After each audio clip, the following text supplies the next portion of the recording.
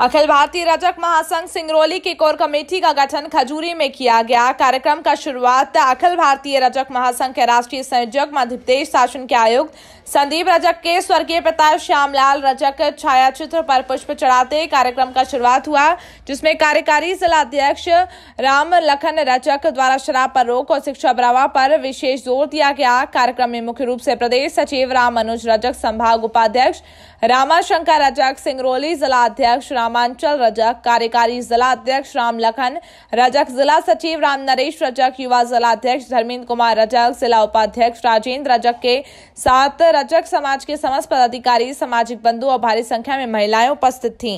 कर देता है। आपके नशा से ज़्यादा आपकी पीढ़ी को नशा कर देता है।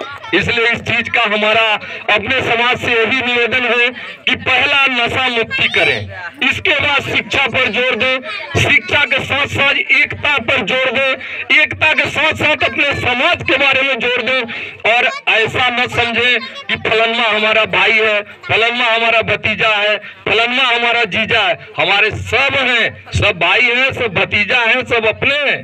कोई दूसरा नहीं, अगर दूसरा होता तो समाज में कोई नहीं आता। इसलिए मेरे सभी भाई बंधुओं, बहने, माताओं, नाती, पोता, इन सबसे मेरा आग्रह है कि अच्छी चीज़ का आप ग्रहण करें, खराब चीज़ छोड़ दें। और मेरी बातों का ध्यान देते हुए, समय तो किसी के पास नहीं रहता। अपने समाज में सबसे व्यस्त मैं हूँ। इसके बाद भी मैं पूरा दिन का समय देकर समाज के लिए आया हूँ। इसलिए मैं आशा करता हूँ, समाज में आए, समाज आपके साथ किसी तरह का कोई परेशानी नहीं करेगी।